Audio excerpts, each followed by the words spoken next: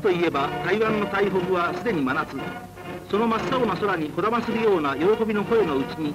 27日台湾特別志願兵制度実施の祝賀分裂大行進が。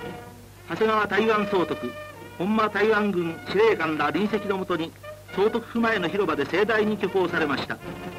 朝鮮に引き続いて台湾にもこの制度が実施され